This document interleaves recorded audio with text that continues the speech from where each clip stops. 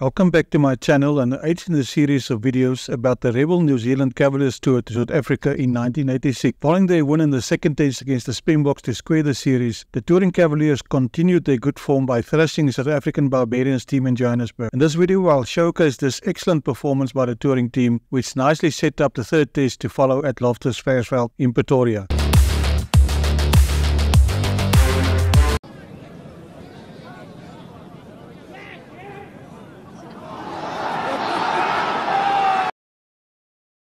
The New Zealand team named a completely changed side from the team that took the field in the second test, including a new halfback pair in Andrew Donald and Robbie Deans. Wayne Shelford captained the team.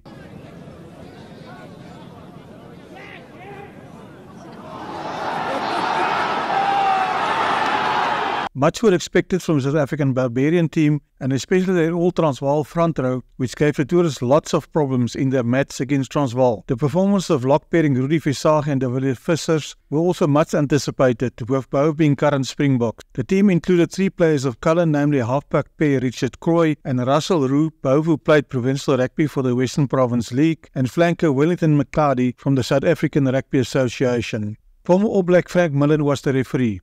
A centre and wing three-quarter, McMillan represented Auckland at provincial level and was a member of the New Zealand national side, the All Blacks, from 1957 to 1960. He played 29 matches for the All Blacks, including 11 internationals. On tour in South Africa in 1960, McMillan scored a late try to enable the team to draw the third test and keep the series alive. With a fine individual effort, he nearly scored again in the fourth and final test, only to have the try disallowed, a debatable decision.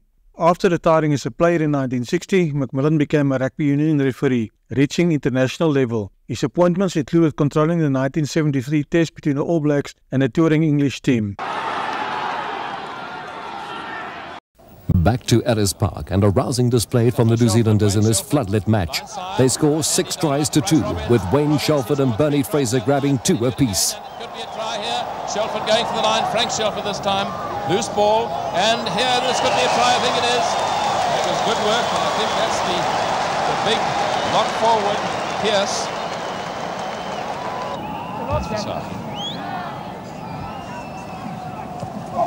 Well, tap back. Out it goes to Russell Roux from Croy. Up to Frans Wessels. He's got Helgard Muller there. Helgard Muller out to Hendrik Creer. Can he get over? Creer going for the line. Did he lose it? Did he get it? Wait, what will the referee say? Yeah, he's given the try. Well, he waited for the touch judge to run round, and I think he was quite right in giving it to Hendrik Creer because you've got to put the ball down on the ground, and that one he put down so hard. We'll watch it again. Beautifully played by Richard Croy. Watch how he takes this ball and gets it away quickly. Good running by Russell Roux. He runs just out of the way of the loose forwards. Then Frans Wessels makes the half gap. Beautiful running by Helgard Muller. Now he's got quite a lot of work to do here, Hendrik Creer. And watch how he goes down and bang! The referee in this match, the former All Black Frank McMullen. Eddie Donald waiting for it. Where will it go? For a drop kick? No. Out to the left. Wayne's with a good chip ahead. This could be a try by Bernie Fraser. No, just too fast for him. It just beat him into touch. It's Wayne Smith, number 10.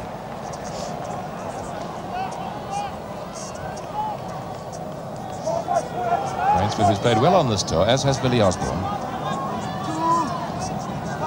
And this is a very good position for them. They're within a metre of their opponent's line. There's T.S. next to big Rudi Visagie. Where will they throw? It's an eight-man line-out. No, seven-man line-out. Frank Shelford back amongst the backs. And that, I think, is going to be a try. Is it Murray Pierce? I think... No, it was Wayne Shelford. Wayne Shelford, that's his second try, and he scored two against Natal. At halfback for the Barbarians, the Western Province League's Richard Croy and his provincial partner Russell Roux at fly half. Centre Helgard Muller of Free State has an outside chance for Springbok selection. And Natal fullback Hugh Reece Edwards emerges as chief understudy for Johan Heunis. Muller missing out a man. That's the fullback in the line, Reece Edwards. He's broken clear. But Kali Grobler with him. Good kick ahead. Chased by Bernie Fraser. Fraser gets there first. And there's going to be a try by Reece Edwards, I think. Tried to pass it inside. That's Alan Whetton again with the ball at the back of the line out. Very good position. Wayne Smith, dummy, there's the scissors. Bryce Robins going through. That's the 22-meter line of the Barbars. Their second phase, beautiful, blind side. And a chip into the box, being chased by Robbie Deans.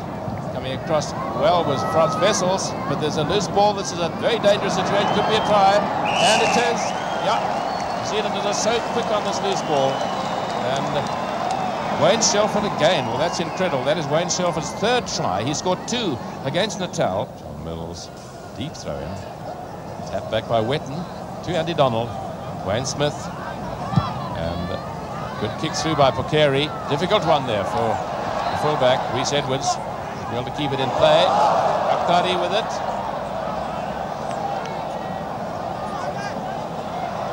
And down it goes to Frans Wessels. And that's Kali Grobler on the far side with it. Kali Grobler getting round his man. He's as strong as can be, keeping the ball in play. Under it, Robbie Deans. And just a little bit too far ahead. Hasn't found touch. Found Russell Roux. It's a good pass by Russell Roux. Hugh Reece Edwards is there. Being chased there by Helgard Muller. Will it bounce kindly for him? He's got one man to beat. And inside it goes to Reece Edwards, who will score. Lovely try by Hugh Reece Edwards there, and lovely handling. That was real barbarian stuff, Hugh. New Zealand is on the attack. Referee wanting that meter between the forwards in the line out. Deep one, well tapped back there by, by Whetton. Good second phase. Out it goes. Wayne Smith. Billy Osborne looking for the inside pass, but there's no one there. Back to Donald. Andy Donald pulled into the ruck. Might have to get out to get his pass away. That's good second phase again. And Wayne Smith, Osborne, Pokere, Pokere, Deans, and that's Bryce Robins. He's got to get the corner. Will he go for the corner? He's cutting in. Well tackled by Frans Wessels. And this could be very dangerous again. And Shelford, Frank Shelford going over with a try. Well tapped back by Wayne Shelford. Billy Osborne looking for the inside gap and nearly getting through it on the halfway line. And blindside, Bryce Robins out to Wayne Smith. Bernie Fraser there. Bernie Fraser's been chased by Rogers and Bernie Fraser again. He's going to score all the way. Bernie Fraser goes over as he likes there. And a very good situation for the Zealanders, but it is a barbarian ball. Picked up by Geldenhuys. And once again, Wayne Shelford in a very dangerous position just that is the try line there. This could be a try. Andy Donald to Fraser. Is Bernie Fraser in? I think he is. That's a second try. Yep. And referee is a penalty there for offside. Rudi Visagie, the big man from the Free State. There he goes. And giving it to JP Geldenhuys. Barbar's over the 22-meter line. Russell Roux taking the ball very well there, giving out to Wessels. This is out to Kali Grobler. Grobler with a very strong man with a handoff. And Russell Roux, number 10, trying to get it back to the Barbarians. Just Rogers is there too. And but Alan Whetton going in. Helped there by, by Steve McDowell. And All Blacks getting the ruck. Long one there by Wayne Smith. And the referee blows for full time. The New Zealanders complete their biggest victory on tour with a controlled display in all phases. Fullback Robbie Deans produces an immaculate goal-kicking effort by converting all six tries and goaling two penalties, a personal tally of 18 points.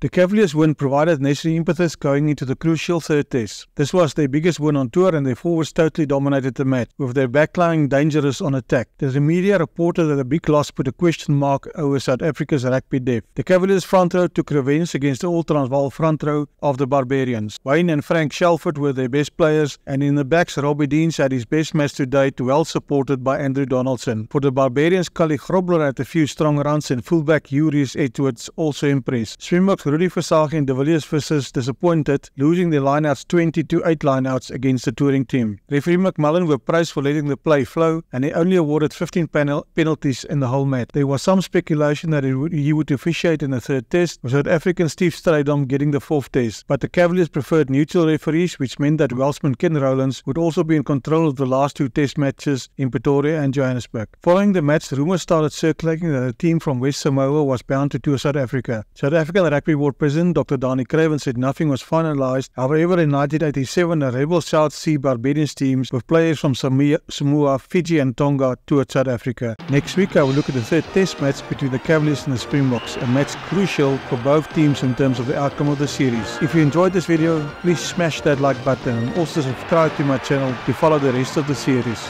Cheers. Moenie die stryd van die reuse misloop nie. Die opwinding van internasionale rugby word aan u gebied deur geel bladsye.